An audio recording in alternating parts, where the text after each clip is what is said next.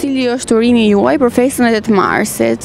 Ta gëzojnë dhe të jenë sa më luftarake për veten e tyre. Uroj gjithë grave të Shqipërisë dhe gjithë uh, ngado që janë, shëndet dhe mbarësi kudo që të jenë.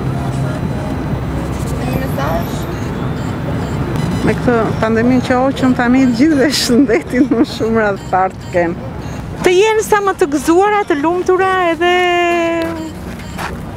të kenë shëndet, kaq, s'them tjetër.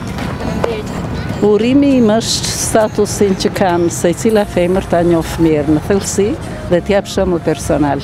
Po s'dha shembull personal mos predikojë. Çdo nënë është mësuese, çdo mësuese është nënë. Varet si e përballon atë status të nderuar që ka. Një nënë e mirë, bëhet edhe një mësuese e mirë. A ka nëna të këqija? Një pikëpyetje e madhe, prandaj unë gjithnjë them, prindërimi është statusi më i madh që mund të marrë njeriu, dhe tërë fëmijët edhe këto që sheh, i quaj lule jete. S'do krijim, krahasohet me fëmijën. Po, krijim Më të bukur që ka krijuar natyra janë lulet e jetës që të bëhet ky vend që të gëzojnë. Nënat gëzojnë kur i shohin fëmijët. Po të lexosh sot statusin tim vetëm për këto probleme kam shkrujtur. Pra të buzëqeshësh siç po buzëqesh ti. Paç jetë të gjatë dhe gëzuar 8 marsin, megjithëse 8 marsi unë e di se është dhe kështu demonstratë për të mbrojtur të drejtat e grua. Po një mesazh për femrat. Femrat të jenë vetvetja dhe të mbrojnë vetveten. Të gjitha femrat shqiptare gëzuar për shumë vjet. Po ju po? Gëzuar festën edhe një mesazh. Po.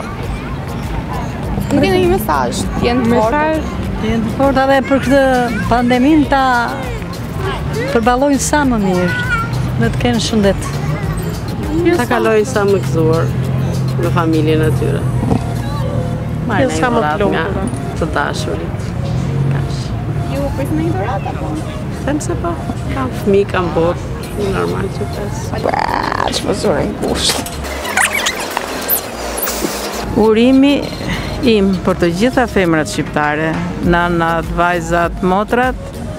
është të kenë shëndet të plotë, suksese në jetë, në karrierë, dhe për vajzat sidomos u bëfshin nëna të mira, të lumtura dhe të rrisin një brez akoma më të mirë sesa janë vetë.